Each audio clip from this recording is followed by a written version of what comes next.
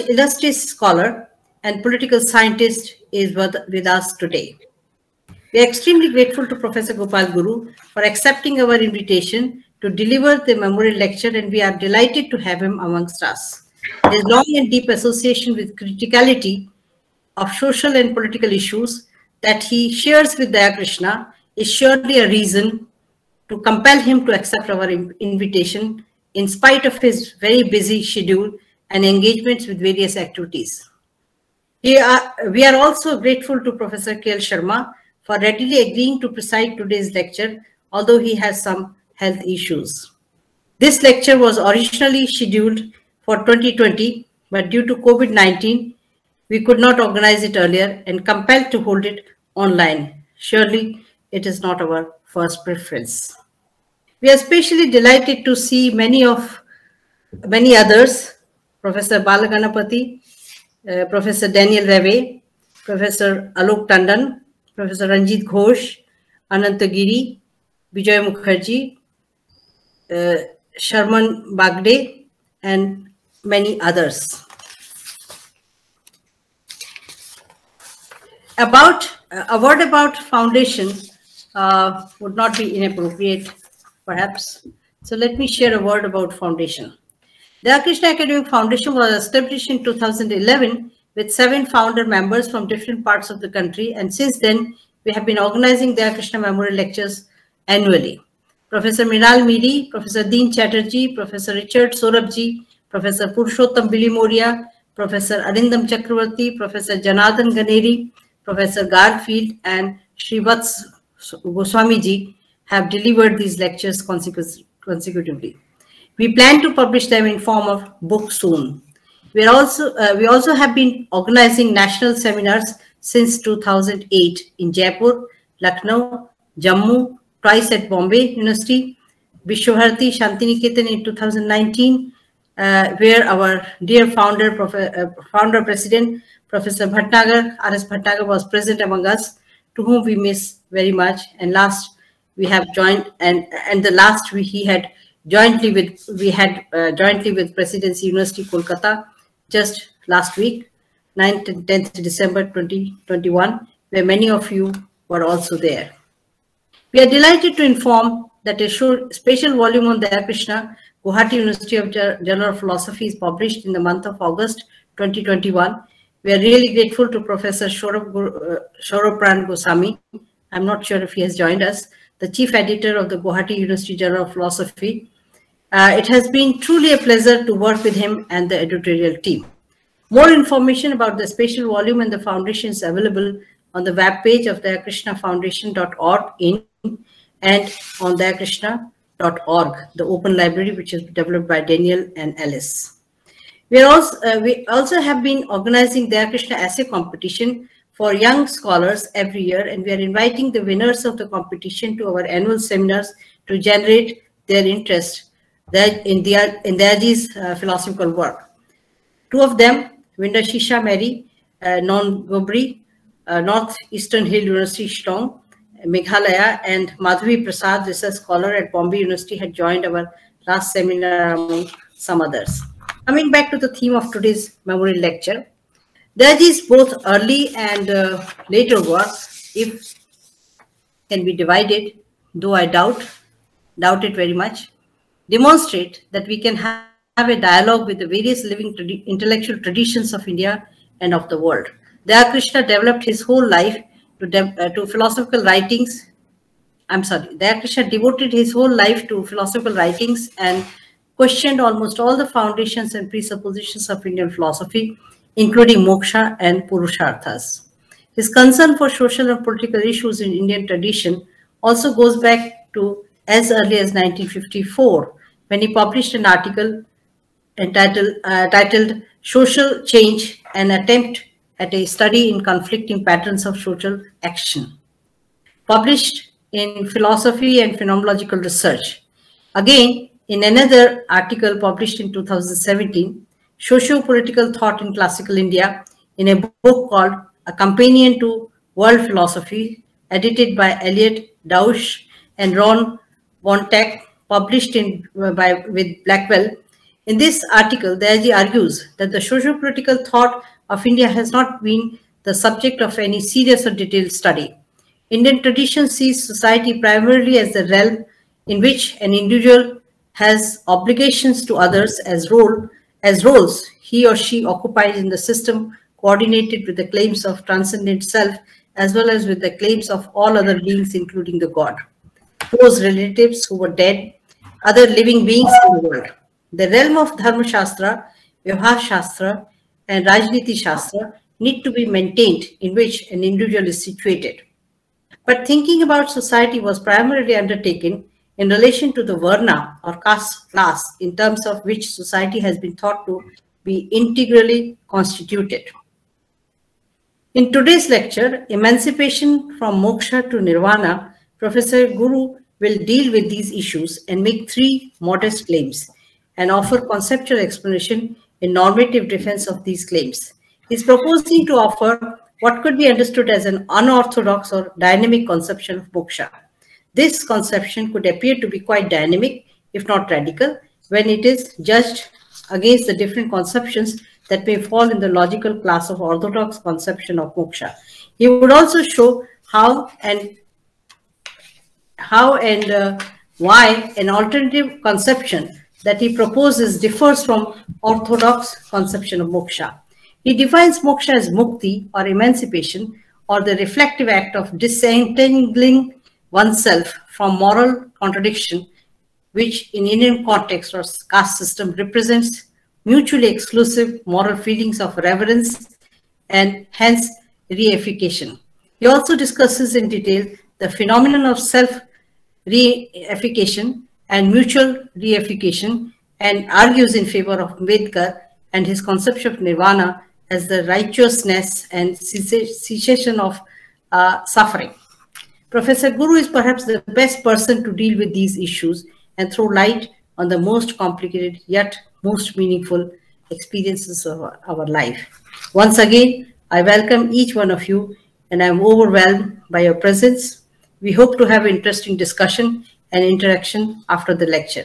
With these few words, on behalf of the Krishna Academic Foundation, once again, I welcome each one of you to this memorable event. Thank you.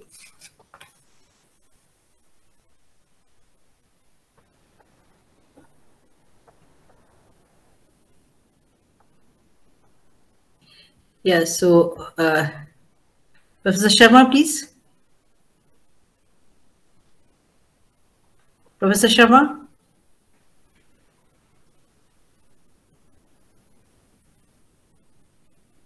Uh, now, should I formally request? Yes. Professor Gopal Guru to deliver his lecture. Professor Gopal Guru. Uh, uh, thank you very much uh, for inviting me to give a 10th Professor Dayakrishna Memorial Lecture.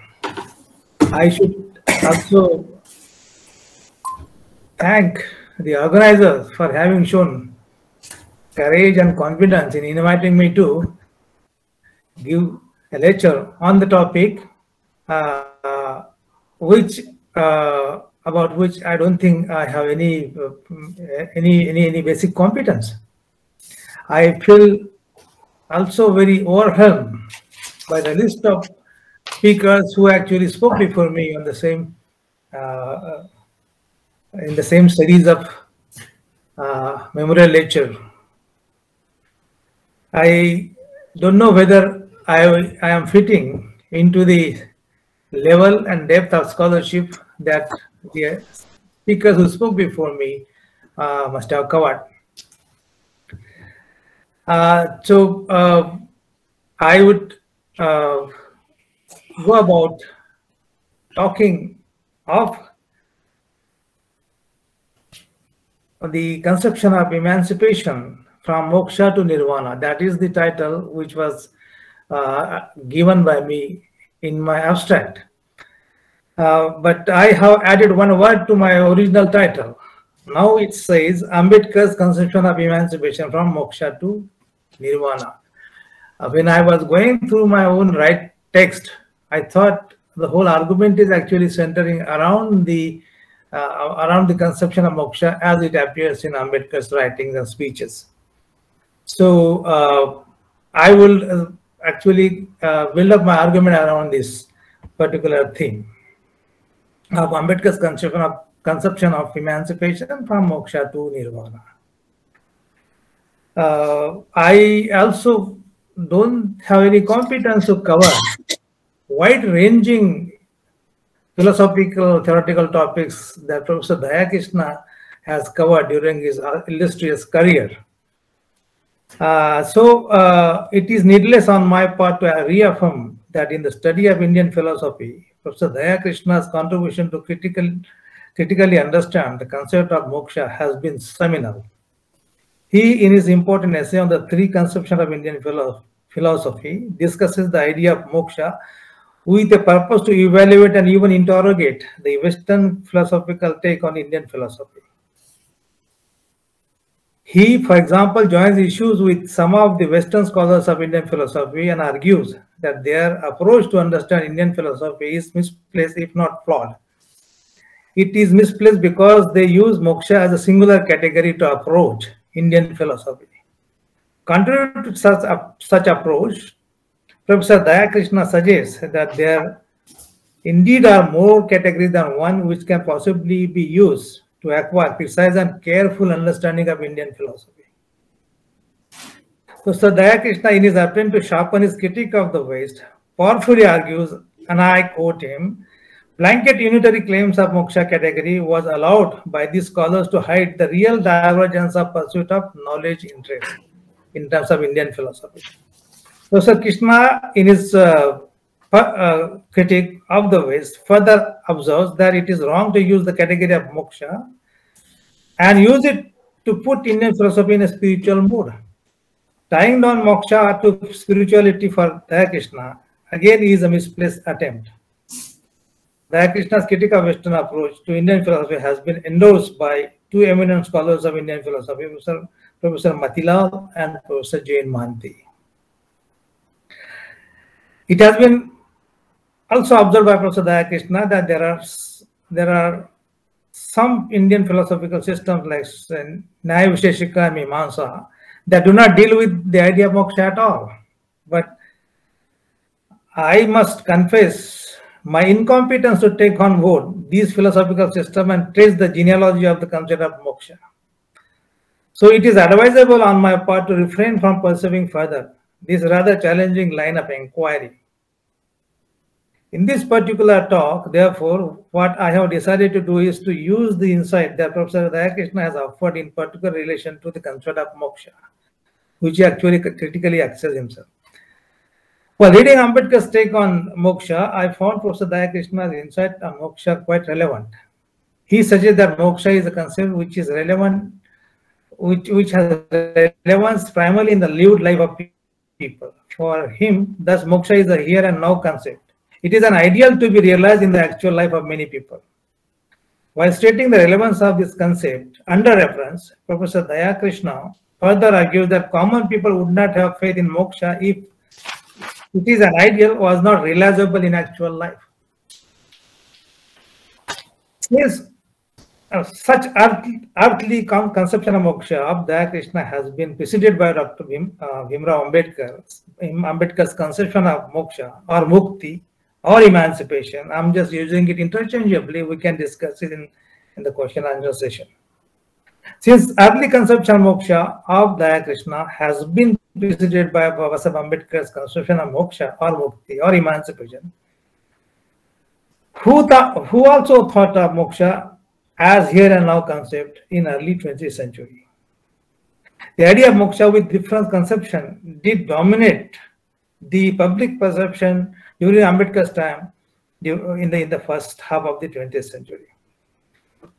However, Ambedkar seems to have given a distinct orientation to the concept of moksha in as much as it indeed is distinct from the different conceptions that are uh, available in the Brahmanical, for example, Brahmanical Hinduism, Charvaka, and even variety, a variety of Buddhism. Ambedkar has a problem with all the three conceptions of moksha. For example, Ambedkar opposes uh, this Brahmanical conception of moksha, which has been imagined as a spiritual option that would release a person from the suffering resulting from cosmic time recycle of birth and death. Under, understood from this angle, then achieving moksha depends on the consequences of, consequences of karma resulting from the sin committed by a person in his or her previous birth. If one believes to have done sin in previous birth, she or he will have to then wait for his or her release from moksha in next birth, in next birth only. In such spiritual scenario, moksha is made to await upon death. He or she can achieve moksha only after his or her death, no matter how much suffering a person has had to endeavor during the actual life. For Ambedkar, therefore, surrendering to resigned fate or a or to reject circumstances created by Varna system or waiting for karmic compensation in next birth does not help at least the untouchables to achieve moksha or mukti.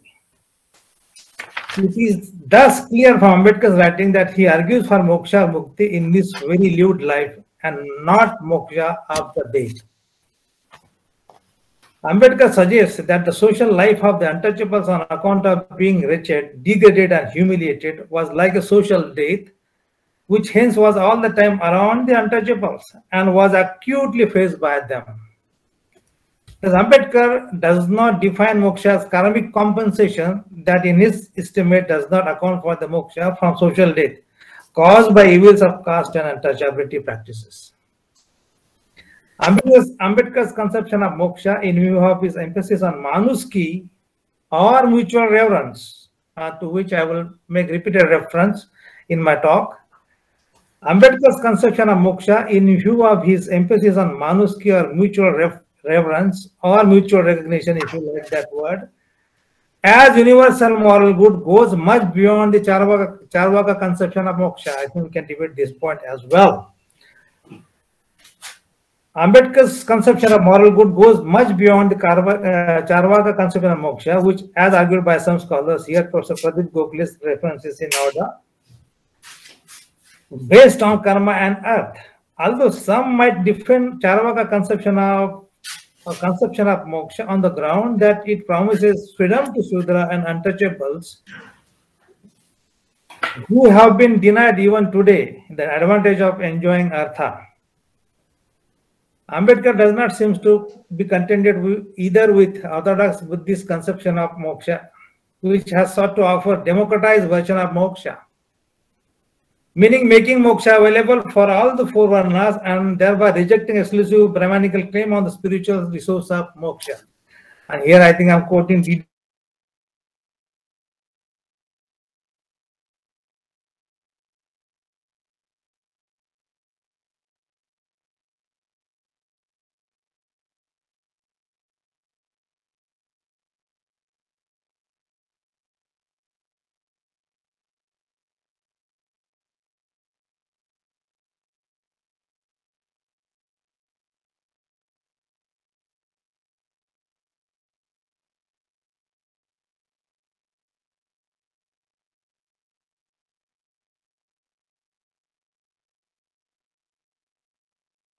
is different in as much as he puts emphasis on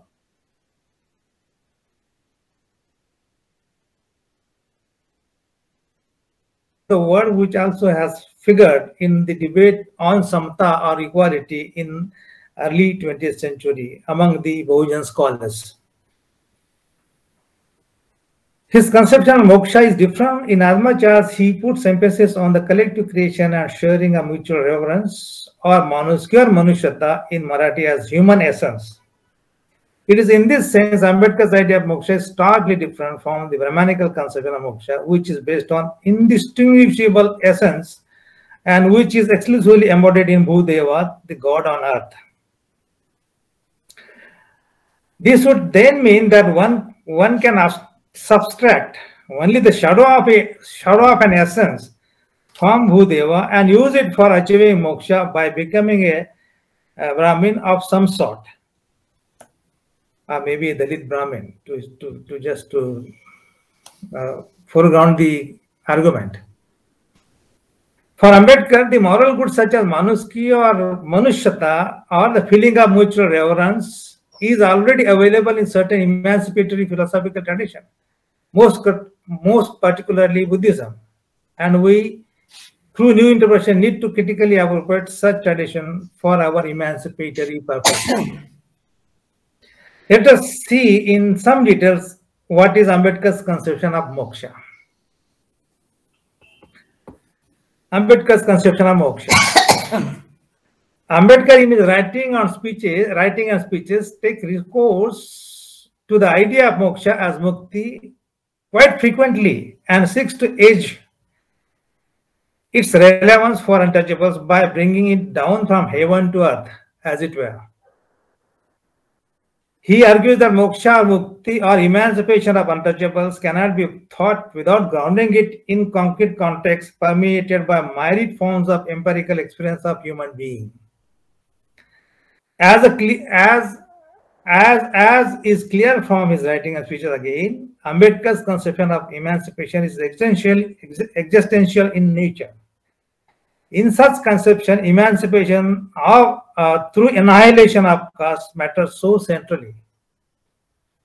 And we also have existential emancipation, emancipatory movement in the form of race matters or black matters. It matters so intensely because it uh, uh, denies mukti or moksha to those who believe in social practices driven by the, by the ideology of caste. For Ambedkar, ideology of caste poses major hurdle in achieving mukti or moksha. It is the caste-driven sense of duty regulated by, regulated by religion that makes the achievement of moksha difficult. I, I, I take the opportunity to thank Professor Sundar Sarukkai, Sarukkai for bringing this to my notice. Ambedkar himself has underlined the seminal point which suggests that every caste-loving Hindu practicing casteism is as a religious duty. He says, and I quote, it must be recognized that the Hindus observe caste not because they are inhuman or wrong-headed. They observe caste because they are deeply religious. Thus, from Ambedkar perspective, thus from Ambedkar's perspective, expunging duty-driven caste from the interpersonal human relationship is crucially important for achieving moksha. I think this quotation also appears in an important book written by uh, Professor Gurpreet Mahajan on, on, on the idea of India.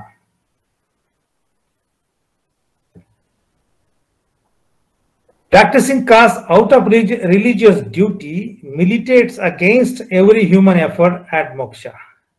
But for Ambedkar, such a project of removing caste from social relation is quite challenging.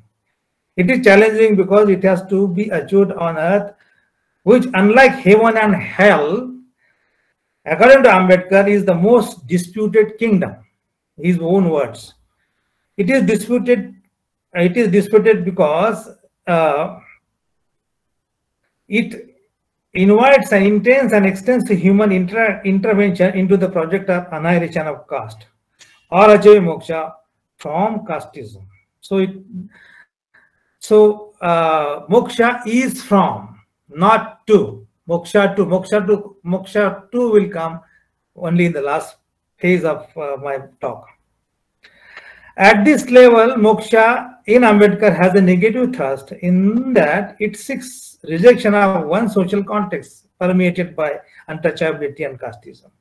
Moksha as active reject moksha as active rejection of caste and not passive release from caste system is driven by the moral force of self-determination that moves ahead with definite direction. Moksha for its realization thus would require self-determination to move away from being a mute object.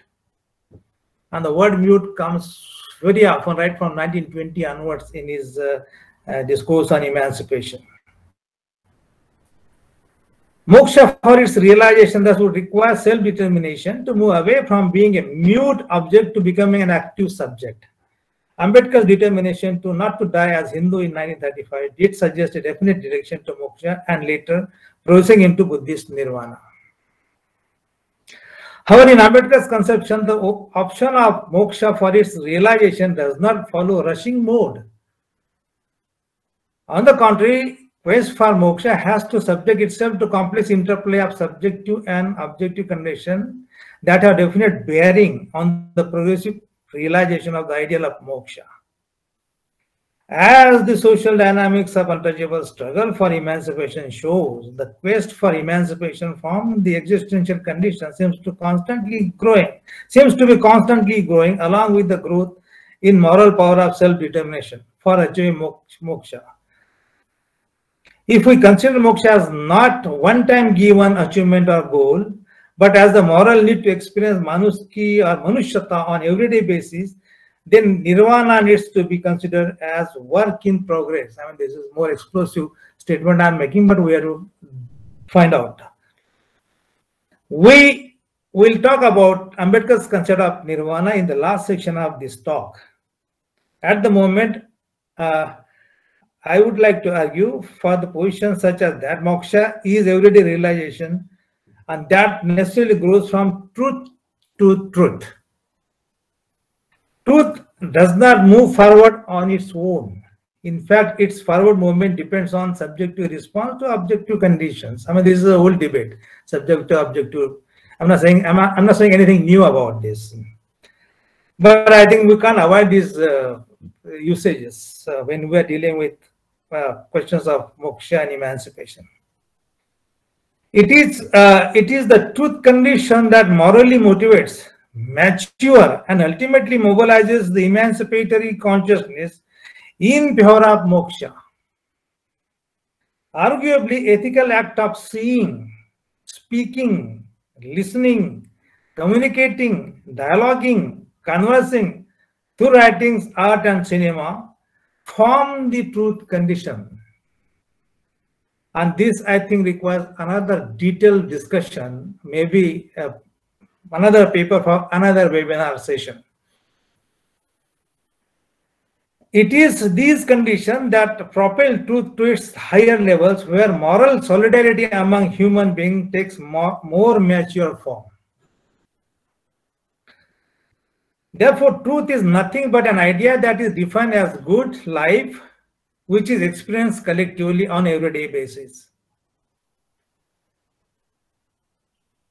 Ambedkar's conception of, conception of moksha thus starts from truth and not from imagination, another position.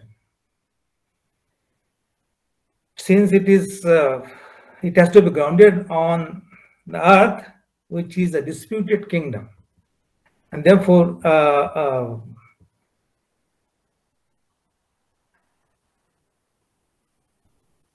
so truth uh, Okay, truth is nothing but an idea that is defined as good life which is experienced collectively on everyday basis. Ambedkar's conception of moksha thus uh, starts from truth and not from imagination. I would like to argue that Indian in Indian context, truth at its initial expression resides in a social production of negative, negative unity of object and subject in such negative unification or in separation of subject from object is mediated through stigmatized description that is ascribed to human being by those who have arrogated to themselves social power to bundle up certain people into such demeaning unification. Such negative unification is visible in the visceral reduction of human being to walking carcass or a mobile dirt or a moral or a moral menace. That can also be a positive uh, uh, elevation that would that would make the subject of one's thought and self-understanding. Ideology of caste and its execution through untouchability phenomenologically converts a sentient being into a thinking object.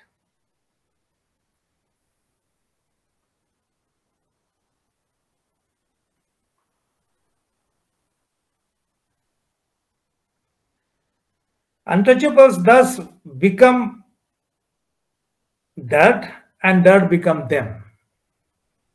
But put differently, in Indian context, the category of object and subject is rendered indistinguishable by those who enjoy social privilege uh, uh, and imposing negative unity on certain sections of Indian society. Thus, accessing truth of moksha would mean seeking separation of subject from object. The first move towards moksha, therefore, is to assign value to oneself, to assign positive, emancipatory, transformatory value to oneself. Reverently revering one's life by breaking free from the hierarchical notion of reverence. Hierarchical notion of reverence, which has been defined by Ambedkar himself, borders on the social tensions between ascending sense of reverence for the twice born and descending sense of respect for the lower caste or ascending sense of contempt for the lower caste. However, one could also use asymmetry of the feeling of reverence in generic sense. Thus, it can be used for uh, it can be used to factor in the uh, factor in women, children as the victim of such asymmetry. The very initial truth condition that necessarily rests with the realization of one's quality and nature of uh, uh, quality and nature of one's social and intellectual existence. The desire for emancipation emerges in the subjective condition where normative constitution of I takes place. Such constitution of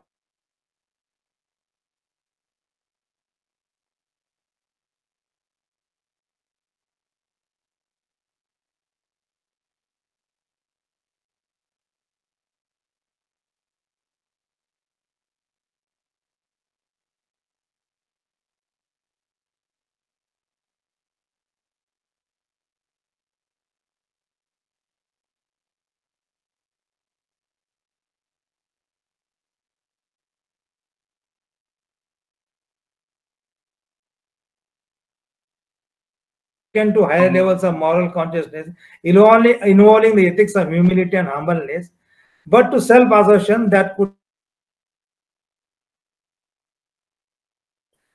However, such kind of subjectivism forms only the initial and not essential condition for achieving moksha. Why does subjectivism constitute an initial or the necessary truth condition and not essential? Subjectivism can lead to social and moral phenomena of mutual reification, which may take two forms, traditional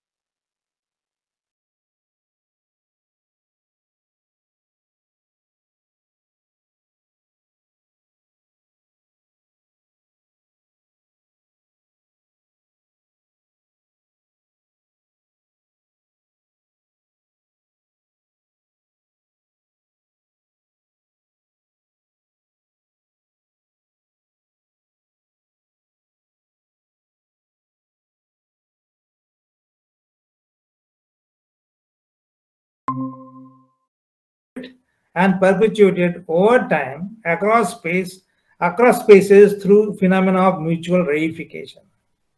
However, such phenomena of mutual reification driven by ideology of caste hierarchy is different from the one that results from the modernist mode of atomistic individual.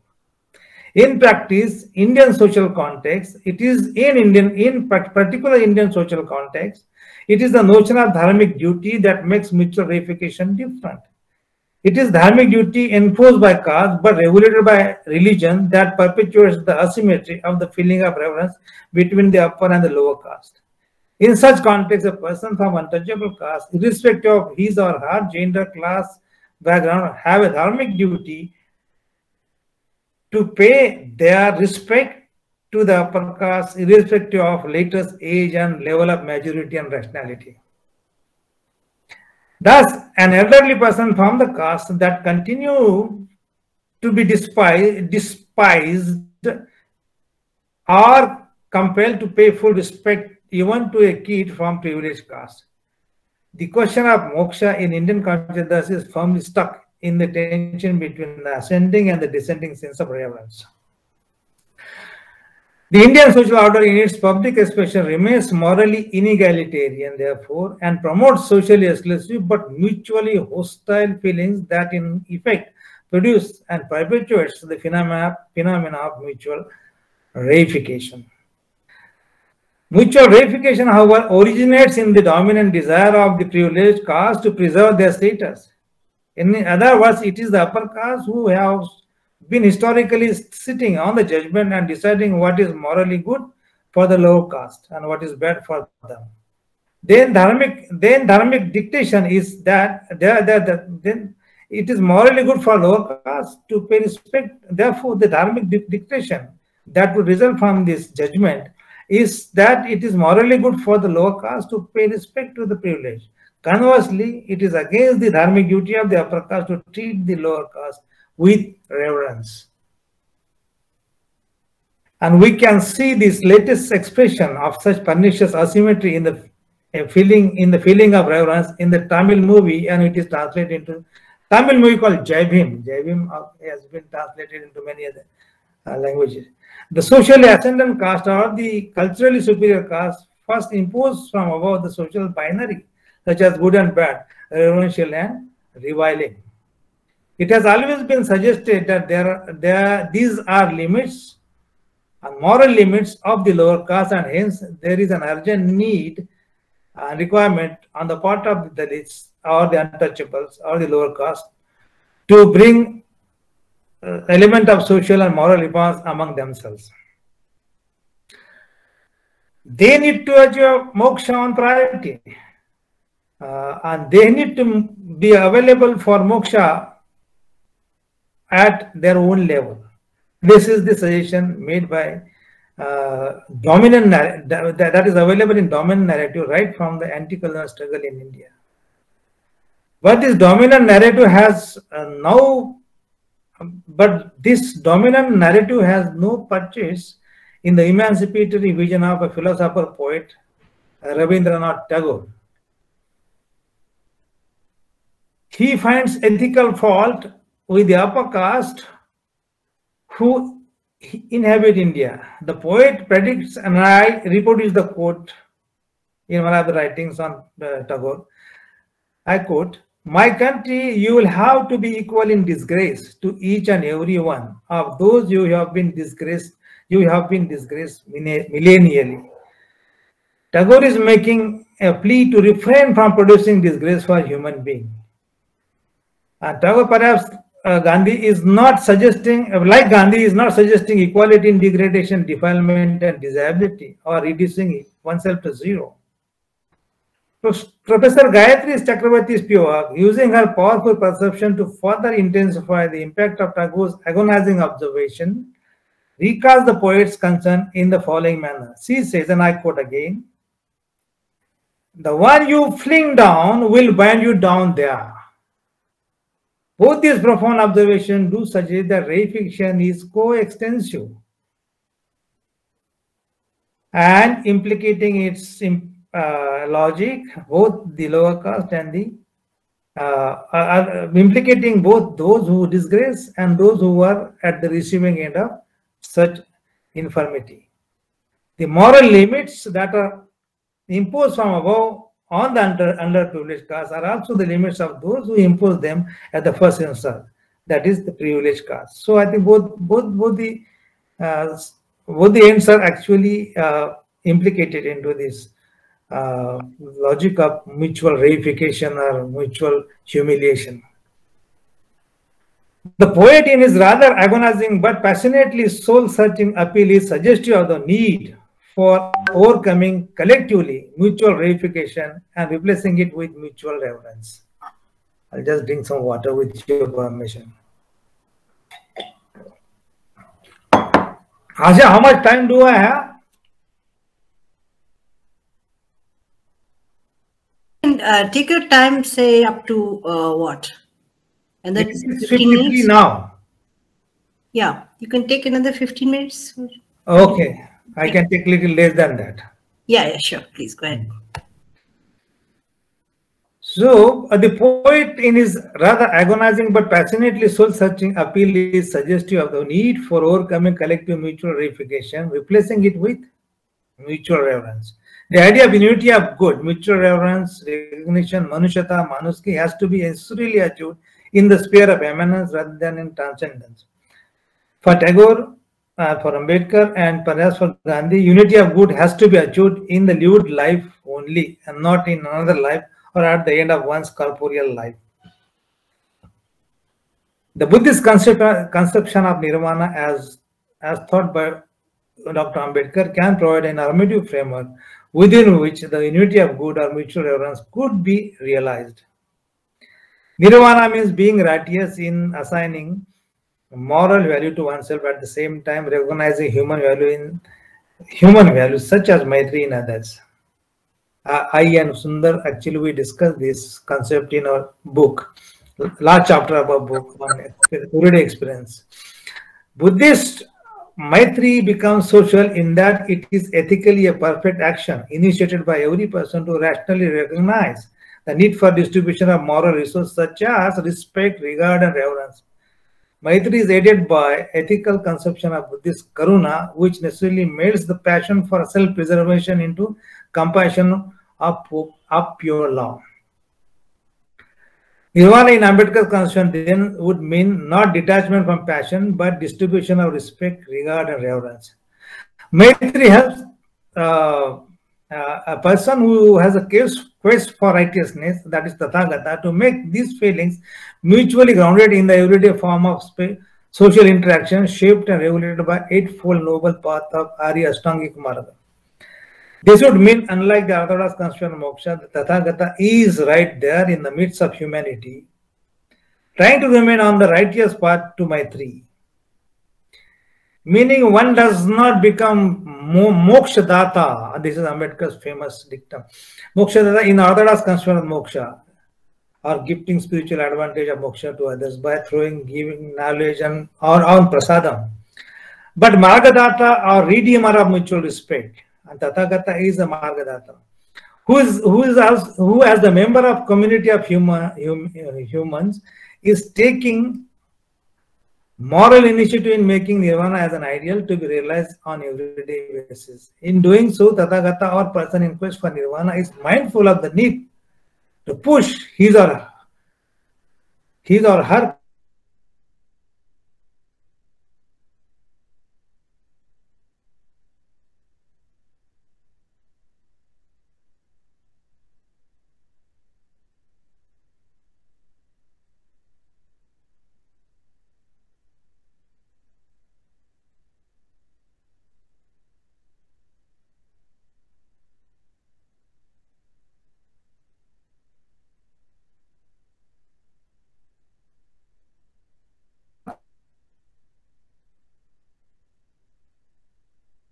of fellow travelers who are equally earnest, upright, and motivated in joining others in such efforts to become to achieve nirvana on everyday basis.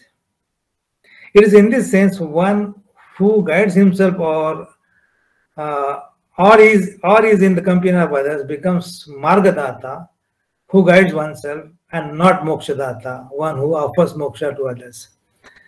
Uh, uh, I think I will stop here, Asha and uh, we will possibly have some discussion. Thank you Yeah, very much for your. Definitely. Yeah, sure. Thank you. Thank you so much. So the lecture is open for discussion, please.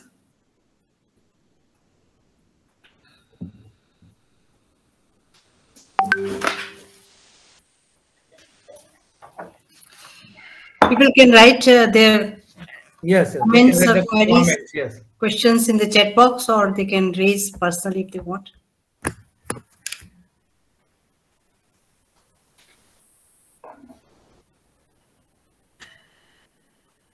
to start with, maybe, maybe I can just uh, raise few issues. Uh, first issue is regarding this, uh, the mutual reverence, the concept of mutual reverence. Um, I can see that this concept of mutual reverence, which you are developing, is uh, very different from the concept of mutual respect or mutual dignity. Uh, so, uh, I mean, how do you differentiate between the two? Because normally we talk about in the democratic system, we uh, and also the liberalist uh, kind of uh, uh, setup, we talk about mutual respect and mutual dignity rather than mutual reverence. But you're talking about mutual reverence. That's the first point. The second uh, point is regarding that um, is this the concept of mutual reverence absolutely an ideal concept or is it uh, realizable in the Indian context? And I mean in Indian context. And the third point is regarding this, uh, I mean, since you brought uh, Rabindranath Tagore into the context, and I'm sure you are familiar with the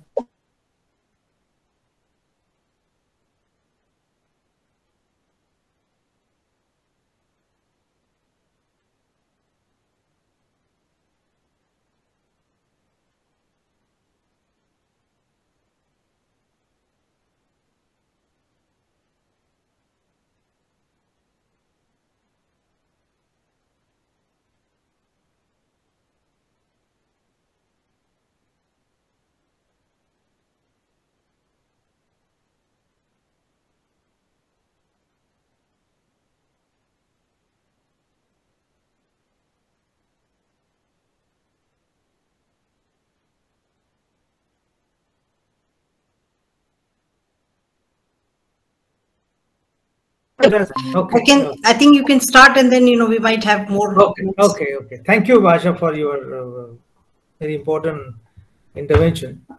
Now, first you said what is the difference between mutual reverence and mutual recognition? Uh, so, uh, I think uh, there is a very uh, thin distinction between the two of them. Uh, maybe they actually overlap in terms of their essence. Uh, uh, just as mutual reverence is unconditional, you don't put any conditionality when you are actually assigning uh, uh, reverence to yourself and reverence to others. And that uh, happens through, uh, uh, you know, your initiative to actually uh, create conditions for this reverence. For example, you should, in reverence, you should fundamentally recognize a person, a person who actually corporeally exists along with you. And uh, uh, reverence means you have a regard for that person. You you actually regard that person of, uh, of equal worth uh, as a human being. And if you don't regard uh, that person, then I think you are not uh, you you are not reverential to that person uh, anymore. So that uh, that uh, that can be uh, accorded to a person through, for example, you look at a person in the morning when you are crossing a person, you don't avoid a person. You just say hello to him, or you don't. Now you don't. I mean, you nowadays people actually avoid people by using cell phone as if they are so busy. They want to. They don't want to see. They don't don't want to look at that people. That is irreverential. So I think this is a very simple. Uh, uh, ordinary uh, experience of revering each other. Uh, so, uh, so, but recognition also is uh, very close to this kind of conception. Now, I don't think there's any difference. You have to recognize human being as human being at the first instance. You, you, you have to actually, you have to acknowledge that there is somebody who's, uh, who's like me, and we, we have no reason rationally to disregard uh, discount on anybody. So that is, I, I think there's there is a very thin uh, line of difference between the two, or there's there is overlap between the two. Okay. And uh, I think it's, it is it is it is real this ideal which is realizable. Okay. Which is realizable. Even you know, if you don't realize, then your life becomes uh, sick uh, uh, at a, a sink of sickness. And so I think we have to uh, emerge out of that. And so I think it is it is realizable. If it is not realizable, I think the society has no future at all. It is it has to be realizable. The ideal which is not realizable is the platonic one. You just it is ideal. It is ideal because it is not. It is impossible to achieve. So we are not looking for that kind of ideal. We're looking for the ideal, idealizing relation on a, a relationship between human beings on a everyday basis. Otherwise, life becomes uh, undisputed hell. Uh, sorry, undisputed hell as far as Ambedkar is concerned. We don't want to go get into that kind of scenario. Yeah, but Professor Guru, actually, you know, I mean, even after, um, for example, um, Ambedkar's uh, ideas and also, you know, the kind of uh, application in the society, uh, after so many years, almost uh, more than 70 years, things have not changed. Yes. Uh, so, I mean, in what sense this is, I, you know, realizable? Because, I mean, uh, I'm talking about Indian context. I mean, surely theoretically, yes, yes. yeah, yeah. I mean, it's, it's it is slow but realizable. It's uh, it is not actually it hasn't it hasn't achieved a very a spectacular success uh, as as we can see in society. People uh, follow uh, uh, asymmetrical or hierarchical notion of respect and and uh, that is expressed through your speech act your body language your uh, status everything. So but you know there are also uh, examples where you find that people really uh, uh, do respect. But that is a very slow process. That's a very slow process. I mean maybe i don't know but in uh, in, in our in, in our context the process is very slow. Yes sure. yeah uh, may I ask a question?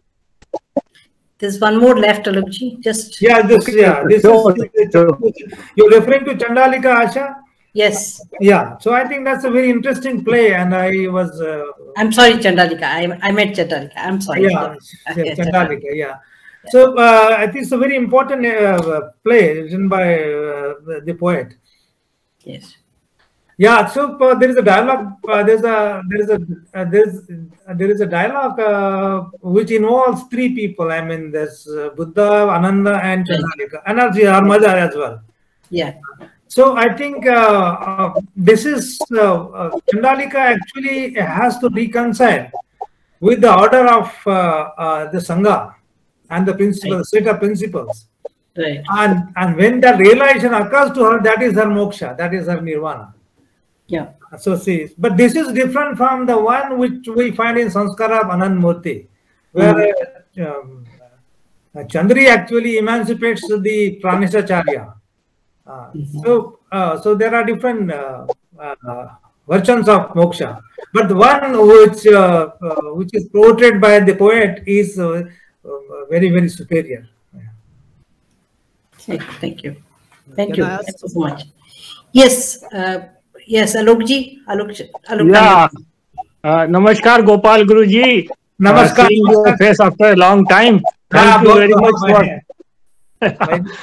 but I feel I am wondering what was the need for Ambedkar to go for the vocabulary of moksha nirvana which already has so much metaphysical baggage and this confuses a lot uh, the followers of Ambedkar, yes, and that's why I think there are not many uh, uh, followers of Neo Buddhism, though they are active yes. in politics of uh, caste, but they are not so much convinced by the Buddhist approach to moksha and nirvana.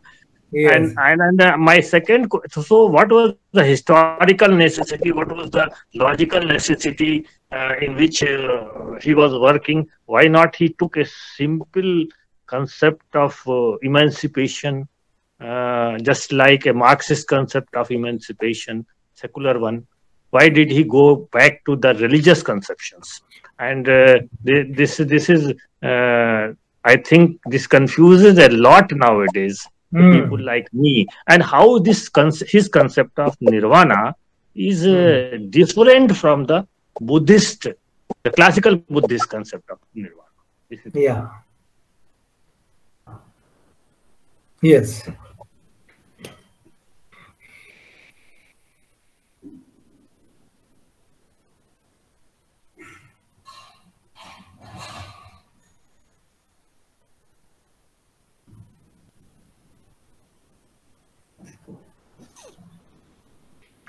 Yeah, so uh, yeah, so thanks, uh, Alokji, for your uh, intervention. I, uh, you uh, uh, you raised a point which was actually haunting me uh, for a while, and thank you for raising that point. Why why did Ambedkar feel it necessary to actually use the word moksha when it is actually considered by neo Buddhists as an obscure otherworldly uh, uh, expression which doesn't belong to Buddhism. So why does he? Why did he? Why did he Satyendra Kumar, please, sorry. uh, Satyendra Kumar ji, could you please uh, uh, stop your audio? yeah. Can I? Satyendra Can I? Yes, please. Can I continue? Yes, yes. So uh, the first point that uh, Alokji was raising was why did he feel it necessary to use this word moksha? Because certain concepts are actually the part of the discourse. Moksha is a part of the discourse, and moksha has relevance and resonance in the Dalit thinking as well. Because you know, uh, uh, uh, Dalit uh, saints have actually used uh, moksha very frequently, and they, they they they actually locate moksha in terms of devotion to God. And Chokhamela is one important uh, uh, saint who actually has this centrally has uh, used it centrally, and uh, he has follow, he had followers in Maharashtra. So it was already uh, there in the uh, in the, in the Dalit perception. So he was Dr. Ambedkar was so uh, perceptive about using it because he wanted to subvert this concept uh, uh, from within, making it uh, uh, giving it a different meaning, radical meaning. As I said, bringing it down from heaven to earth. As a moksha is simply mukti, emancipation. You are you are actually liberating yourself, emancipating yourself from something which uh, is actually uh, making your life hell. So that was the context. And also in the in the uh, non-Dalit discourse, moksha was being used very frequently. So it was already uh, uh, it was it was imperative on his part to use this. Uh, the second point you were raising was about the difference between the classical and Ambedkarite notion of nirvana.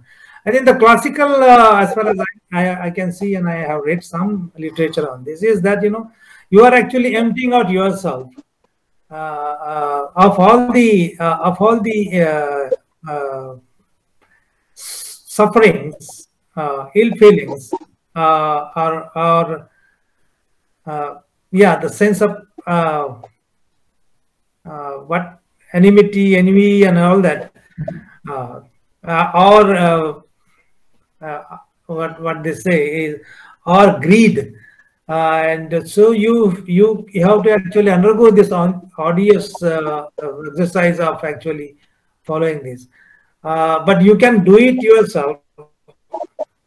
Uh, maybe in a solitary exercise, but in Ambedkar's, I think is the one which also has uh, uh, a little bit politics of actually uh, making it universalizable. The idea is universal, but it is not universalizable.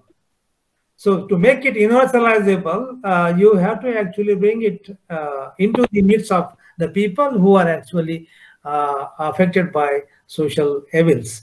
So that uh, so there is a there is a force of some kind of uh, politics behind this, and that's why his his his dialogue with the with Buddhist bhikkhu actually is driven by the sense of activity, action, initiative, working with the people in the struggle. So that's how it is slightly different from the classical. So can I ask, Asha ji, may I speak? Asha ji? uh, can I, Asha ji? Asha ji, Please can go ahead, Yogesh. हाँ Yes. नमस्कार sir नमस्कार everyone sir मैं हिंदी में बोलूँगी एक तो जो अभी आलोक जी ने पॉइंट बताया कि how the concept of nirvana differs from the classical Buddhist concept of nirvana एक मेरे दो तीन रिमार्क्स ही हैं। तो ये संदर्भ में मुझे लग रहा है कि nirvana term is used in in in Buddhist literature in Pali literature में तो बहुत ये तो ह्यूज है हमें इसके हाँ। बारे में कुछ पता नहीं है। लेकिन लेकिन is considered as state of state of अंतिम शुद्धि और चित्त शुद्धि। And and somewhere in What Madhyam is- Nikaya it has said that it is sabbimal virahitam. That is the, the purification or the uh, devoid of every um, malas. Mal, mal means evil feelings. And and also in Madhyam Nikaya or, or in, in Buddha Ghosh, Buddha Charit, it's been said that it is Nibbanam Param Sukham. And Nibban is Aham Visarjanam. And so all if if it is so, then how how it it can be how the the Ambedkar's concept can be called a neo-Buddhist concept. Somewhere you use this neo-Buddhist. This is first remark. Second one is uh, और जहाँ हम इस इन सबको मोक्ष को ऐसे देखते हैं तो मुझे नहीं लगता कि ये कहीं डाइवर्जन है ब्रह्मैनिकल और, और श्रमणिक ट्रेडिशन से के बीच में है हम्म। ये एक हम्म। चर्चा की बात है दूसरा रिमार्क एक एक एक और माइनर रिमार्क है मुझे लगता है कि कि जो जो द टर्म मोक्ष है first we have to look where it is situated और occur and we see that we found that it is viewed in the tradition indian tradition or vedic tradition is summum bonum as in purushartha chatushtaya which is considered as the theory of human seeking or human goals. And and also viewed at both the level empirical that means in life and transcendental level, level that is afterlife. The Hmm. other words for these two stages is called jivan mukt and mukt now while if we what we heard it seems that ambedkar's moksha or eman- emancipation in a secular term the word is being used only at socio-empirical level where it is freedom from social inequality or hierarchical notion of reverence or even or asymmetricity of reverence. So it is being used in totally different context. context. Yes, yes. हाँ, वही है The, the third, uh, एक, the, एक one more cl- clarification I, I, mm, I request you to kindly uh, highlight on this that what is the phenomenon of mutual reification? It is still not clear and it is one of the central concept in your talk. Reverence तो uh, समझ में आ गया but what is mutual reification uh, and self reification? Hmm There are two more questions. I think, um, thank you, sir, kindly. Okay, thank you. So I think uh, start from the last question. What is uh, what is not clear is the the phenomena of mutual reification. Right, right, sir. That you know you uh, it is a, um, logically it is against mutual recognition. Uh, oh. So you reify yourself into your own status, and uh, uh, you do not really have a uh, need to take initiative really come out from that particular uh, state of self-preservation. And uh, so uh, you remain there and uh, you actually uh, militate against all that influences that try to destroy your own status. Even, even, even the untouchables will take objection to their own emancipation. They would say they would find purpose in being un, being uh, remaining in, the state of unfreedom because they are they fear that if they actually become free, then I think they they will have to face some cost, they have to face some challenge, or they will have to incur some cost. So I think that's why it is a it's a mutual reification. The moment you discover yourself are remaining mukha is a reification and the other person also is uh, the other person for example from patriarchy or from caste or from race also is uh, conditioned and imprisoned by his own concerns of self-preservation. So it is mutual reification. I require you for my own reification. Mutual reification is there uh, which is which is against mutual re- reverence. Mutual reverence has to actually necessarily transcend these self-imposed boundaries uh, or uh, uh, self-imposed restrictions. Uh, so that is the moksha. I mean, if you want to use that word, okay. it's a very practical, radical term in Ambedkar, and I agree with you that this is not something which is, which actually is developing the critique of the moksha as it is viewed in terms of uh, its uh, origin elsewhere in Vedanta. So uh, you you have uh, very uh, actually I'm trying to develop a kind of a theoretical account for understanding moksha. So I'm starting from uh, I'm starting from the separation of object and sub subject. Then how does it happen? So through self through self determination, all that I'm developing and coming up to. Uh, so can I ask a question? Yeah. So I think this is the uh, the last. Uh, Shraman, I'll just complete take one more point. Uh, it's not uh, in Ambedkar. It's not antim. It is on a everyday basis. It's an everyday basis. It's not antim. So one has to realize it on every basis. So your neighbor has to actually greet you every Monday. So that greeting is not fake. It is. It has to be. It has to be very genuine and authentic. Other we have a very fake smile on our face. That doesn't mean that the person is revering you. So there should be some kind of an ontological link between what you express and what you pursue. Is it not? So that link is missing. And that's why uh, it's not anti, it has to be experienced on everyday basis. So can I uh, put my question? Yes, please go ahead. Yeah, uh, sir, Jai Bhim. This is Pramod Babu. Jai Bhim. Yeah, okay. Sir, you characterize Ambedkar's conception of emancipation as collective endeavor. Yeah. And that is very distinctive uh, remark because in Indian philosophy, uh, the uh, concept of moksha is highly atomistic, individualistic. And this, uh, your characterization of Ambedkar nirvana as a collective endeavor, this is what distinguishes uh, Ambedkar conception of moksha, uh, nirvana Yes. from traditional. On the, on the art, on, yeah. I would like to know from you, uh, any collective activity is a political endeavor. So doesn't uh, the Ambedkar idea of emancipation uh, kind of intertwines the political and ethical dimensions? yes. The Nirvana is essentially a political um, project, so to say, and but it, it needs to be transcended. We have to go beyond the political in order to achieve the universal requirement for a universal reverence. Yes. Use with plus. I agree with you, Saman. I mean, that's what I was suggesting. The very moment when Dr. Ambedkar says that it is the most disputed, earth is the most disputed kingdom. It only means that no, you require some political intervention or reason coming from outside to actually uh, sort out this uh, dispute. Okay. But at the same time, you don't have uh, undisputed uh, imagination of undisputed heaven or hell. You don't want to go to heaven or hell.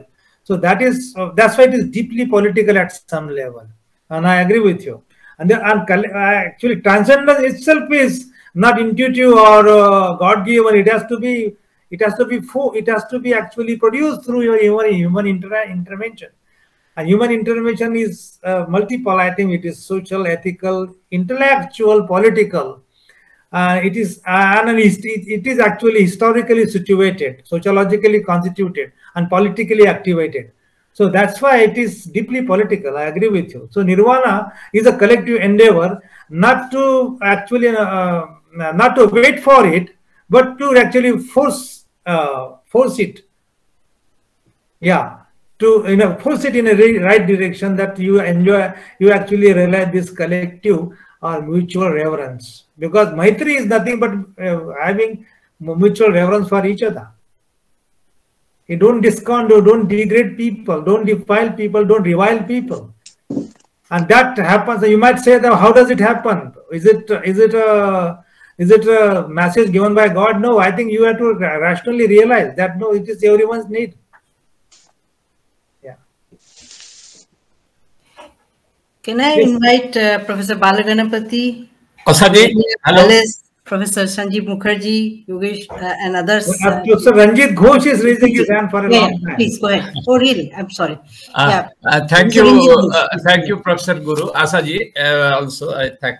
Uh, now, I want to take you back to I have every regard for uh, Ambedkar, but I want to take you back to the Emancipation Proclamation made by Lincoln in the year 1863, where he made uh, a clear cut. It he made it a clear cut legal document.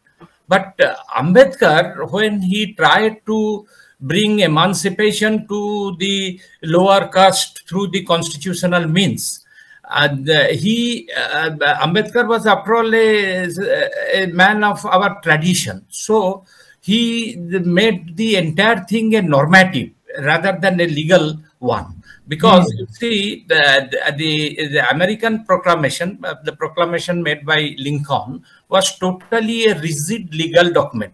Whereas in Indian constitution, we find all the uh, normative elements uh, which uh, were also expressed in the guise of legal one, but actually the sense or meaning is normative. So for that reason, uh, even if uh, he has made all the provisions, it would not be realizable in practice, even after these 70 years of year. How would you react to this? Uh, yeah, thank you. This single question, Yes. please. yes. Thank you, uh, Professor Ranjit Ghosh, uh, for your comment uh, and question. So, uh, basically, comment. So, uh, I think, uh, yeah, so uh, Dr. Ambedkar actually threw his lot in the normative uh, mode. He always thought that people may not be amenable to uh, legal injunction. Reason coming from legal, legality, state, all that. And, and uh, ultimately, we will have to actually uh, reform ourselves in uh, uh, through our through our own experience uh, which is not very very uh, healthy and which is not very very pleasant. Uh, because you know uh, we all, all the time try to avoid people on cars uh, several bases so that has to be done only from the normative mode uh, maybe through conversion. And that's why he said buddhist conversion conversion is an important device to do it important option to do it.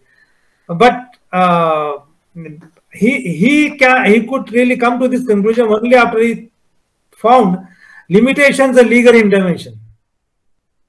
Because he actually started uh, he actually prescribed legal in legal in legal injunction or provisions for actually reforming people making them more social more egalitarian more uh, friendly to justice and friendship and liberty. But that is not happening so he has opened up a different channel which is more sustainable, more doable.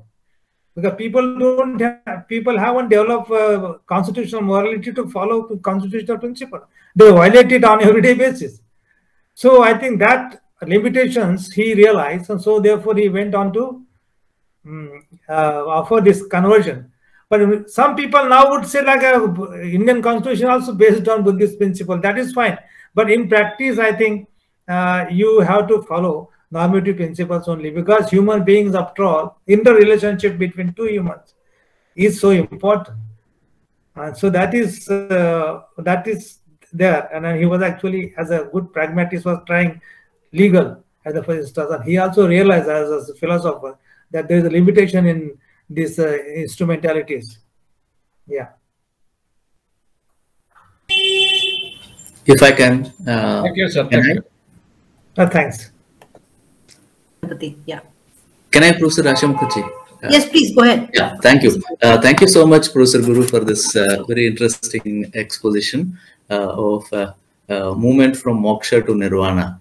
Uh, I have uh, two quick observations. The first one is with regard to nirvana, uh, and many people have, uh, in fact, raised their concerns regarding this. And I, uh, I noticed, I, I think you have done it intentionally, that in between you mentioned nirvana to be work in progress without Yeah. elaborating you just left it like that. So i thought i should ask you on that no? Uh, how, how, how do you look at that? Because uh, uh, uh, i think one of our uh, uh, other friends here has said uh, in an Indian conception of nirvana is atomistic and individualistic. In fact, when it comes to Buddhism, we have Mahayana Buddhism where uh, Buddha takes birth to emancipate everybody. Hmm. So it's it's uh, uh, togetherness that is very important, and he believes that until everybody gets liberation, he will not get uh, liberated. So Yes. this community, you know, coming togetherness, collectivity, uh, nirvana of collectivity is already stressed in uh, um, Mahayana Buddhism.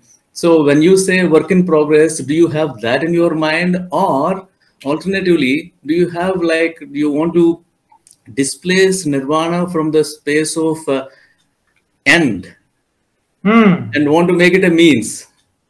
Hmm. If that is the case, what is what would be the end? No, that's that's what I would like to know. Uh, this is the first observation. The second one is very interestingly, you mentioned this. Uh, I think, therefore, you are right. that's that really attracted me because I was looking at this Cartesian uh, dictum uh, because you are also uh, rela- relating it to that and mentioning that. I think, therefore, I am. But I, instead of uh, making it, I think, therefore, you are.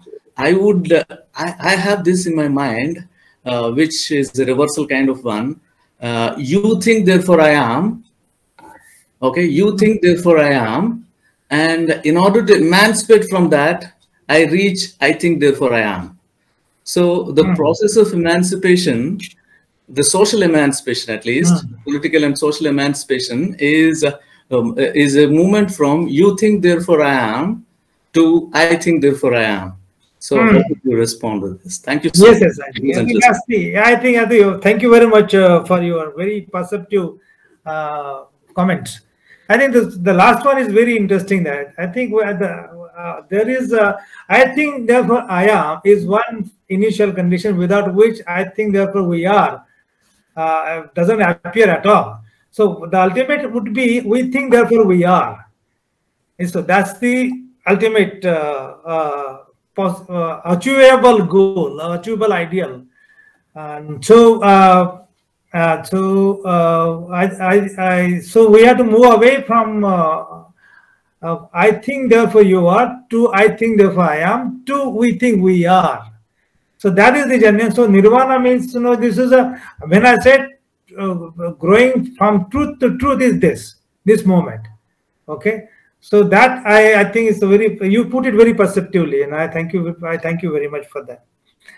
Uh, the other one is very tricky question. I mean, it's a very uh, complex question. Whether I'm treating nirvana, am I, I- am I really dis, dis, dis- displacing it from the very uh, very discourse of emancipation, uh, or I am actually reducing it to the to to the, to the level of means and ends. I think it's it is it is also uh, it, it is it has it has both the dimensions end and mean. There is no separation at all. Uh, when you are actually when you are actually uh, uh, using Arya Ashtangik Marga or ethical injunctions in Buddhism, you are in a way uh, using them, using within quotes, using them to actually uh, uh, become a sentient being.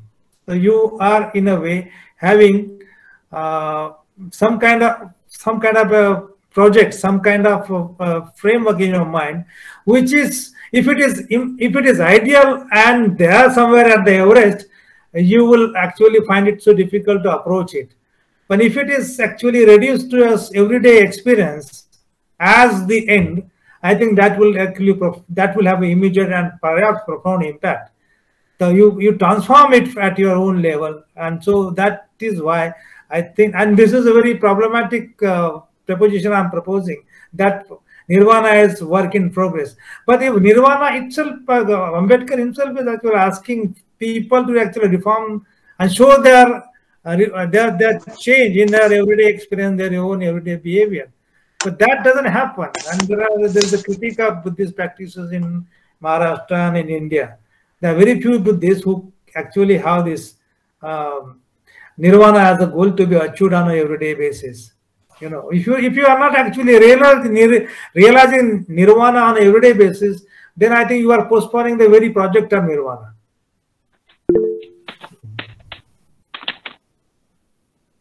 Thank you. You Thank can you. find the okay. Thank you. ji? Yes, Satyendra. Somebody, somebody is. Uh, Yeah, Satyendra Srivastava.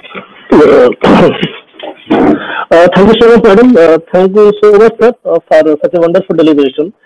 I just want to add something, and I think uh, uh, it was a mistake to did not include the notion of Vivekananda, Swami Vivekananda, when he mentioned uh, like concept like moksha, nirvana, or emancipation. Uh, there is misconception that we can use moksha, nirvana, or emancipation only in the transcendental or non-empirical sense. Okay. While Vivekananda used these things in a completely empirical sense. And uh, uh, I would like to quote, uh, since all of you mentioned that emancipation, I would like to quote, uh, there is a statement uh, uh, of uh, great communist leader Hiren Mukherjee. He wrote about Swami Vivekananda that uh, it is a blessing that we had only uh, in our midst a young uh, philosopher like Swami Vivekananda. His contribution is immense for the emancipation of the entire humanity, especially in the context of India.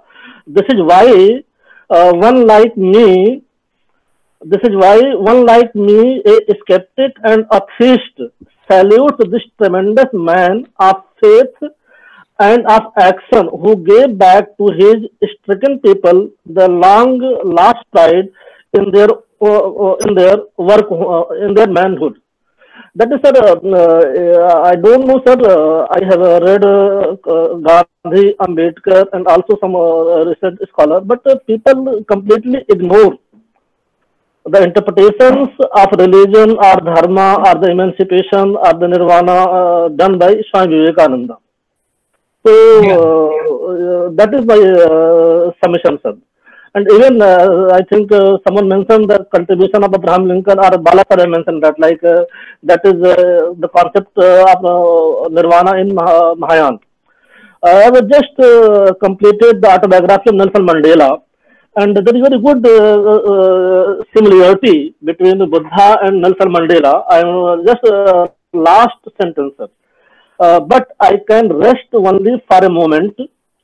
For with freedom comes responsibilities, and I dare not linger, for my long walk is not yet ended.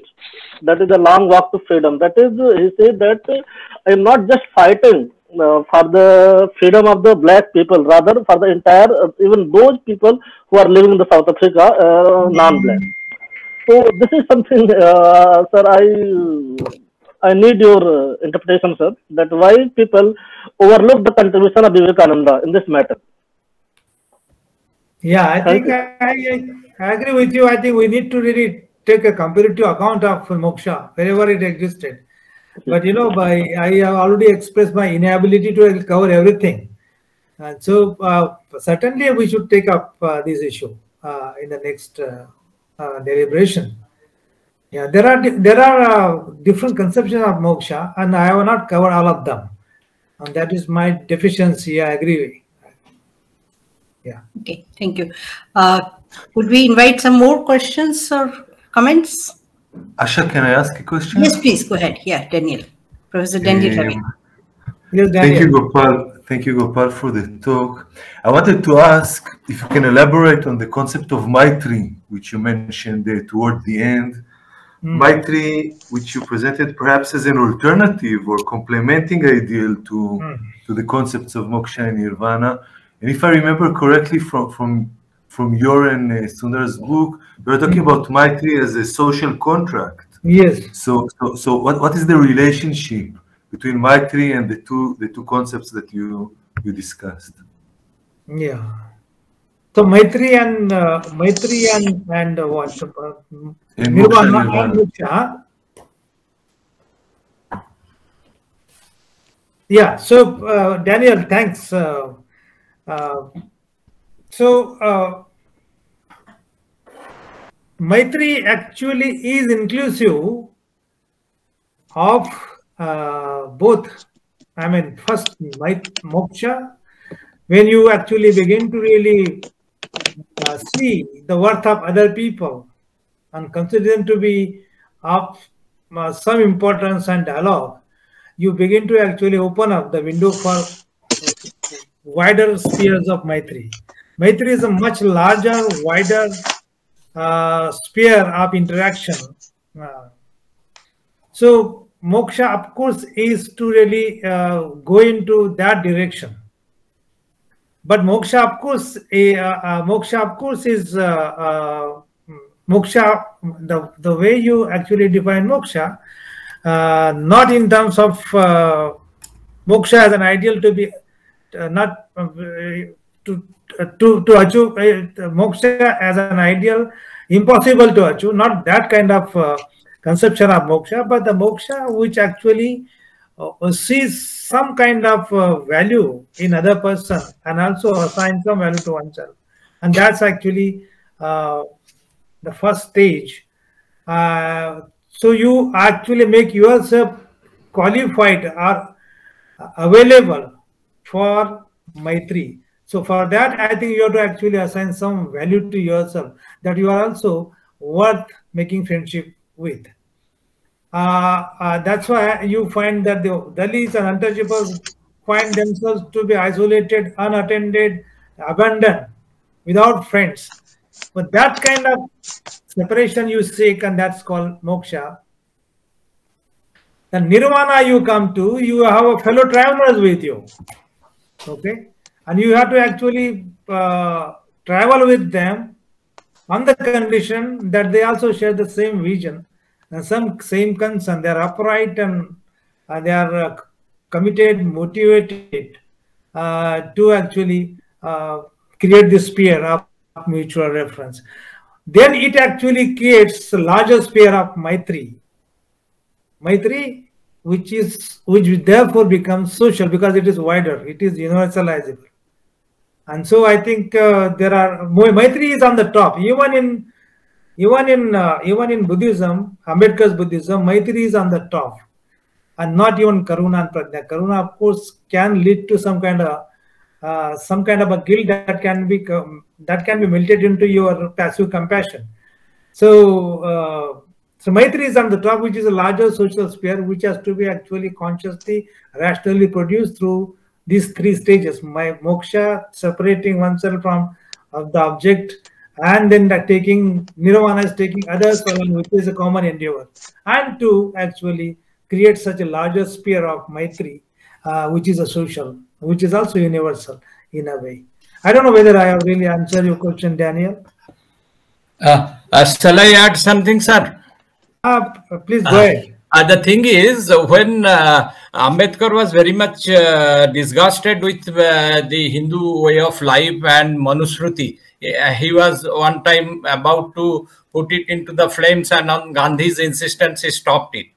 Then he tried all the religions. He first tried the Sikhism and then Islam and then other religions. And ultimately, he reached at the Buddhism. And there he found that it is the religion which can uh, bring the emancipation in the true sense of the term because of its uh, uh, the, the, the way, the, the concept which you have used, the Maitri that hmm. that itself is a concept which uh, suggests that the progress is from we to i and not from i to we so that is how yes. uh, Ambedkar uh, the, took uh, Buddhism and, and uh, with uh, his two lakh supporters, he converted yes. himself into Buddhism in the last phase of his life. So this is the situation which Ambedkar knew very well. That is yes. I, thank you, sir. Thank you. Yeah, yeah, yeah, I agree with you. Yeah, that's it. Yeah. Uh, Professor Sanjeev Mukherjee, if you're there, would you like to say something? Professor Sanjeev Mukherjee? Yeah, Sanjeev is there. Hi, Sanjeev. Uh, hi, Gopal. Nice to see hi, you. Great to see you on screen. Uh, well, uh, I was uh, wondering about uh, the social conditions of uh, emancipation that uh, Ambedkar was talking about when he talked of an, the annihilation of caste. Now, uh, I'm asking this question because historically we have found that all these, all such projects, all such major projects of restructuring society, breaking down social institutions, have resulted in newer kinds of monstrosities, whether it's the communist monstrosity or mm. others.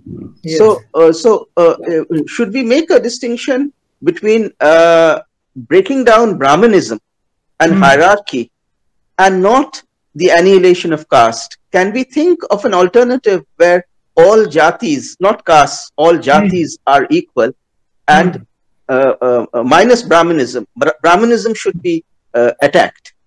Can we think uh, uh, along those lines as a more humane way, given the record of history which have had such grand projects of, you know, changing society? A very interesting proposition, uh, Sanjeev. Uh, yeah, I think it's uh, it's, it's, uh, we can try it.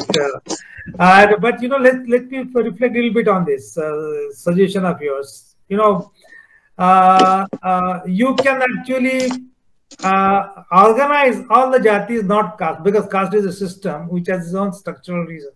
Now, that actually fail any kind of initiative at the level of jatis coming together. So that's the uh, that's the problem. I agree with you. That kind of uh, reading. So, uh, but to how to actually produce or force some kind of a emancipatory solidarity among these jatis. But jatis are also, by the way, affected by a structure called a religion, and uh, they also have. Um, they have relative notion of moksha or emancipation, not the absolute notion. That I am, I am, uh, I am, I would like to seek some freedom from the upper caste, but I want to enjoy some dominance from the lower caste. So that kind of uh, tension is there, and uh, uh, when hierarchies are continuous, as Dumont would say, uh, solidarity becomes all the time difficult. And Ambedkar would say there is a lag in the consciousness of all these jatis. Now one, one has to work out what uh, what is the option or device that will actually remove that lag in consciousness. For example, of OBCs, and he was very clear on OBCs. So that uh, that can be done structurally from within, or can be brought in from outside, like like you know very up very very powerful option of buddhism. And so but that he tried uh, and and we find that only certain castes have actually taken seriously to this. Now what is the structural reason for this for a particular caste to become buddhist? There is a structural reason. That one has to analytically uh, uh, uh, establish that there is a structural reason as to why Mahars of Maharashtra have actually become new Buddhists on priority. Is it is it because they were actually fa- they're fascinated by the charismatic leadership of Ambedkar? No, I think there was a democratic process that went into uh, making this solidarity, making this uh, mobilization possible. But the same kind of mobilization doesn't take place in other jatis, and therefore you find that common agenda for emancipation uh, doesn't have a future or success at this level. But we must definitely try. Should we try as a jati or we should try as a group or we should, we should we try as individuals? But I think we should try as an individual as it starts from uh, individuals actually emerges from the separation between object and subject. Uh, have they got that consciousness, Sanju, to separate themselves from being an object? So that is the real challenge, and we uh, politic political parties or any party, including the communists, haven't really focused much on this. Yeah, I agree with your comment on that. You know, because there you find that there's a there's no moksha, but there's only revolution, revolutionary emancipation. That's it. But you know, society doesn't move in that direction. It's the rushing mode, not the reaching mode. Reaching mode is nirvana. To go slow, you might find uh, difficulties, you might set, receive some setbacks, some defeats as well, but you are there. So that is uh, much difficult. That's why it is a disputed kingdom. And Ambedkar's with that this is wow, expression is so important. I think we can really uh, decode it further. Thanks, Sanju, for your uh, comment. Thank may you. I may I ask? Yes, Pankajji. Yes. Sir, this Buddhist conception of Nibbana, the background there is that taking birth itself is the greatest trouble. Bhav being itself is seen as a disease, as a rogue. And it is because of that that Buddha is called Mahabhishaj. Because he treats he um, he treats this disease which is called bhava. Being itself is the greatest trouble. Being born, being born is seen as the trouble. And that is why the literal meaning of Nibbana is um, Bujjana. Bujjana. Hmm. So Bujjana. The, the root cause of being born is eradicated. Ah. So how do you respond to this? Um, Yeah, so I think I will respond only from the Ambedkarian point of view. I don't have any other. It's a Neo Buddhist point of view. I think in Neo Buddhism of Ambedkar, uh, uh, uh, he would not rubbish the very existence of a being. Actually, he will, uh, and that's it. That's the Buddhist principle. That's some kind of Buddhism. Uh, I think there's some. There are different uh, dispensations in Buddhism. There are as many as twenty-seven of them. So. Uh, so we have uh, this new this dispensation becomes so appealing because it, is, it doesn't rubbish the life. Actually, it celebrates the birth, and but actually it actually gives uh, some kind of cadence and reverence to this life. And giving reverence is a, is, is an ethical challenge uh, that has to be actually met in in in company with others, because ethics is to really uh, bring in somebody into your framework of imagination, emotions, or maybe philosophical prepositions you can do all that. But you know uh, to abandon something as undesirable or rubbish it or uh, what kind of some kind of cynicism to rubbish it is not the idea of new buddhism. And that's why i think that the real the agency becomes possible only because you are born. And if it is uh, if it is a passive intervention then i think there's no need for uh, nirvana it is all closed matter. There's a closure on it. right, sir. Yeah. Thank you. Thank you. Alice, would you like to say something? Asha ji, Yes. Uh, can we can we have uh, Alice? Is she there? Asha, Asha ji, Ha, just one minute, please. I'll come back to you. Uh, Anantaji, Professor Anantagiri, are you there, Professor Anantagiri? Okay, then we'll have uh, anybody else, and then uh, perhaps uh, Professor Yogesh Ashaji. Gupta will be the last one. no, Yes, Ananta? Ashadi. Can Ashadi, Ashadi, good evening and uh, good evening to Professor Gopal Guru. Yes, so please it go ahead. was nice. Yes, it was nice uh, listening to um, Professor Guru, and I am uh, joining you from the from the road. So uh, the little I you know I was listening to Professor Guru being on the road in Odisha. So Prof- Professor Guru might have uh, touched it. So I just wanted to share that uh, in uh, in um, explore in Professor Guru's engagement with uh, moksha from Ambedkar and and Daya Krishna's uh, engagement with moksha and uh, the whole critique and uh, your emphasis on social moksha and in what way we can think it further, the moksha of society and, and that is much more relational. But that immanent moksha also has layers of transcendence. Again, my apology, I have not been able to listen to the nuances of your thought. But as a theme in this discourse, I thought that the rethinking uh, moksha, how it also has to cultivate uh, an immanence, you know, which is socially engaged, a social immanence. But that social immanence also has layers of transcendence. And that social immanence does include social liberation. For example, you know, creating a much more, uh, you know, um, much more facilitative social environment, social condition for growth, individual and societal.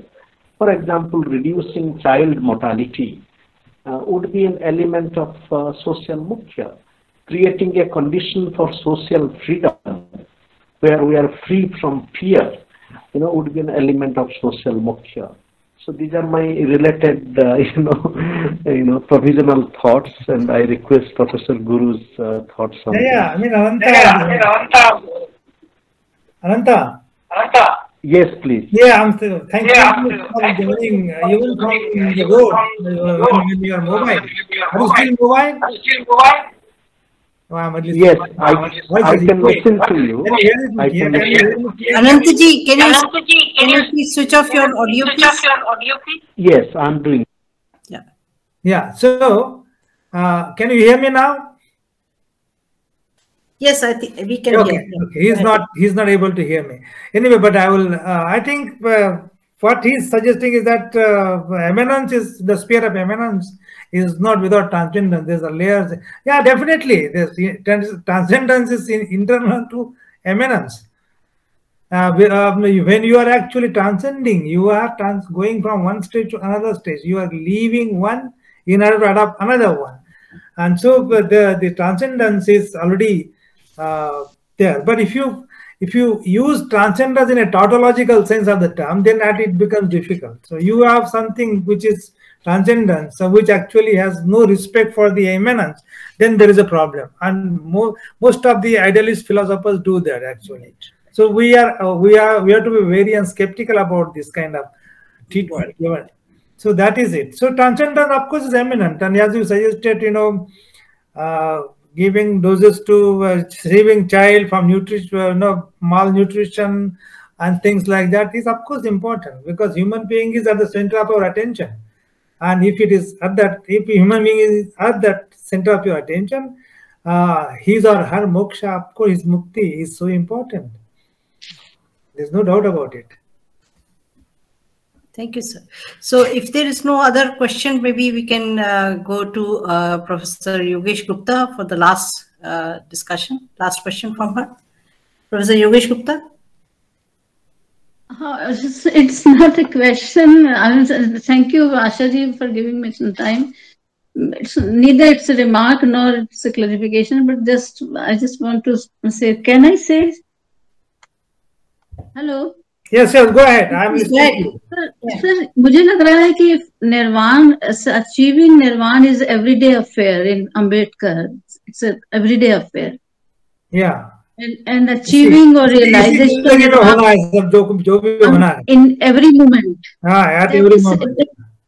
every moment. Yes yes. Uh, uh, if it is then how one can cultivate or get this this the the I, the values of manushiki and manavata and moral goodness or equality when how one can achieve at individual level solely at individual level how one can get this तो कोई नहीं, हो ही नहीं सकता उसको तो दूसरे के साथ में करना पड़ेगा आपको नहीं दूसरा तो होगा बट बट दूसरा तो है क्योंकि रेसिप्रोसिटी है और रेफरेंस है ये कॉन्सेप्ट ही डुअलिटी के हैं हाँ। लेकिन अपने आप से ये कैसे चेंज होगा? ये एक समस्या इस फ्रेमवर्क में है।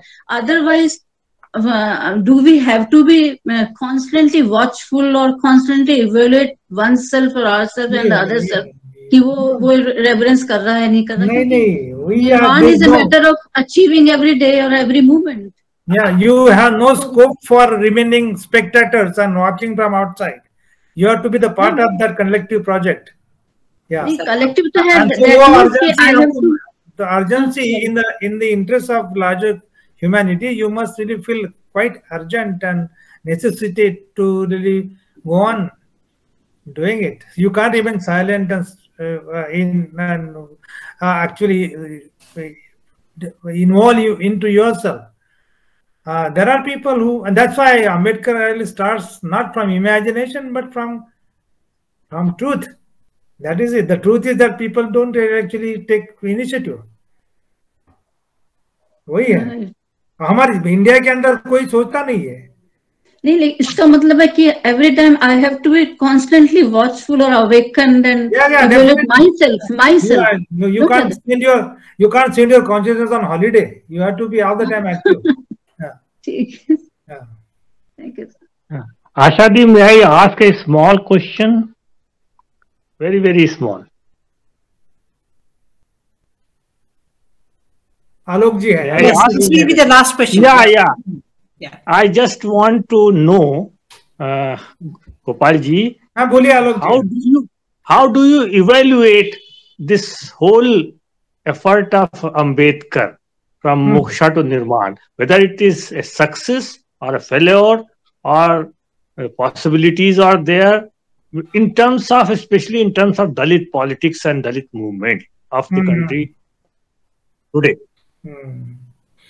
या आई थिंक बिल्कुल सही आपने बोला है कि वो अभी I mean this is it is not a failure और complete success it is a possibility of a success and that people actually are motivated some but that motivation is actually put off because of some kind of a politics that they do the so uh, actually the the, the primary um, uh, primary need is to actually engage at least in conversation. That means you lad you, you are not afraid of somebody who's raising questions. You are actually confident to confront those questions maybe find solutions together. But that process of dialoguing conversing interacting uh, you require uh, interlocutors or you require fellow travelers to actually uh, do the job. But that space, that sphere actually shrinking on everyday basis because of the very nature of pragmatic, very pragmatic nature of politics and politics and politics, Dalit politics particularly. So my concern is that actually we should bring in politics rather in a pure form to actually initiate dialogue for the for in favor of uh, nirvana. That is to to trade on part of righteousness. Righteousness meaning that you have to actually see that uh, this what is right for you is to actually take people along with you to, to redeem. You are actually re- tathagata because you are a redeemer. You redeem that uh, particular possibility. So that's it Thank you, thank you. yeah Thank you so much, Professor uh, Guru. Uh, I guess uh. Professor KL Sharma Sahab uh, will as a will give uh, presidential remarks, I suppose. Professor KL Sharma. here. Thank you. Uh, thank you very much, Professor Gopal Guru, for your constructive and creative lecture on the uh, Ambedkar's concept of emancipation from moksha to emancipation. Uh, our, our learned uh, participant raised number of issues. Uh, there are some, especially uh, uh, people know those who have uh, read because I have not read uh, Ambedkar, but so I know a bit about his thoughts. He raised number of issues about the Buddhism. He did not accept it as it is. Hmm. So uh, he also constructed the uh, Nirvana and then uh, causes of suffering and monks and a number of people. He raised number of issues about that. The the issue is that uh, uh, the how when we when we use the word Alok Tandonji and others also raised the issue when we use the word neo Buddhism generally in my mind comes immediately the Tibet- Tibetan uh, Tibetan neo Buddhism or Zen Buddhism and so on. So uh, in by itself it is all right that you have, you have given a constructive view. And this concept is a, uh, quite different from Buddhistic original concept of Nirvana. Because Nirvana can be reached according to uh, Buddha in our heart at, at present moment. Or it is a enlightenment uh, Yes. is within us and do not seek from it outer outer world or from other people and then, then your, your that this approach is quite different from and we is you know the Ambedkar's approach because he uh, radically he gave a radical interpretation of uh, uh, nirvana phone कैसे किया था इसको बंद कर देना वो Yogi ji Yogesh, Professor Yogesh Gupta, please switch off switch off your audio. So uh, actually, the, uh, he gave a radical interpretation of the nirvana and other concepts of things. So because he says that we need uh, uh to create communities yes. Uh, uh, that unlock human potential and identity, dignity. That is the nirvana for him. Yes. So and then not only this, he doesn't believe in that mindfulness and all these things. Yes. And he says that for that, you know, you use a different level of education and something. Like mm. But what I'm, I'm, I am uh, more interested in that because most of the people nowadays, I, am not talking about in terms of the caste changing, some people are becoming uh, Buddhism and all, but Buddhism is more uh, uh, popular nowadays and in those those who want the peace of mind and enlightenment. Mm. So most of the people are following the Buddhism, not as a caste or you know they're changing the but those who really want the peace of mind and enlightenment, they follow the Buddhism. And uh, the popularity, uh, the popularity is that you know I would tell you the uh, in Europe and the US, most of the psychologists and philosophical counselors using Buddhistic techniques to cure the diseases by of the uh, disease of the desires or emotions and, and, a kind of psychological improvement also. So uh, this this is another dimension of, of Buddhist which or people are taking. This is your construction is all right. It's very good, and then and you have given a, uh, also discussed it. But, but my, my uh, contention is that, so there is another dimension of Buddhism which people are taking with that. And those who are interested in more peaceful of life and all these things. And uh, this is the Buddhism as a technique are being used. Now it is very popular among the uh, psychologists and the clinical psychologists. So I, I, thank you very much for again uh, your lecture, creative and constructive lecture on Buddhism, and all the participants. Thank you very much for your kind patient listening to my lecture and comments. Dr. Pankaj Basodia ji. Hmm. Pankaj ji? Yes, ma'am. Please. Yes, please. I feel very, very privileged to be invited to propose a vote of thanks at the 10th Dayakrishna Memorial Lecture organized by Dayakrishna Academic Foundation. We are deeply grateful to Professor Gopal Guru for his profound lecture on the topic Ambedkar's conception of emancipation from moksha to nirvana. We are really grateful to you, sir, My pleasure. for this remarkable address. Sir, in this series of lectures, we always look forward to listening to not only new and perspectives, but perspectives from which we get a sense of intellectual enrichment. I thank you for bringing up a new and different perspective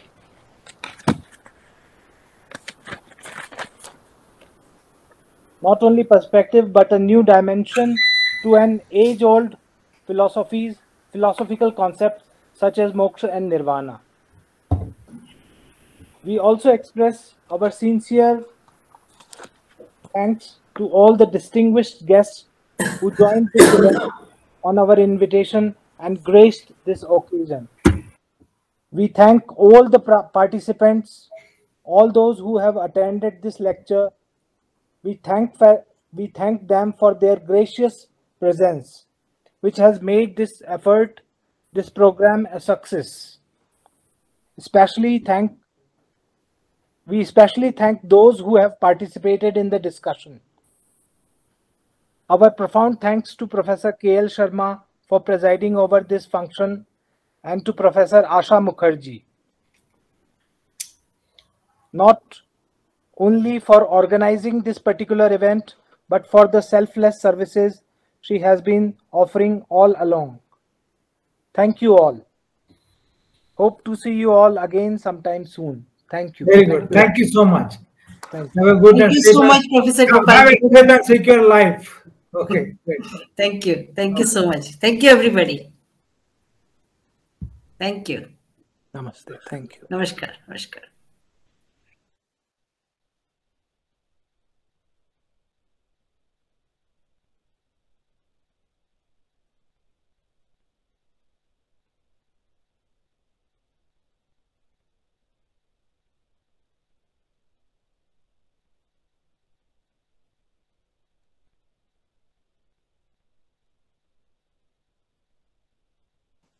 Hello.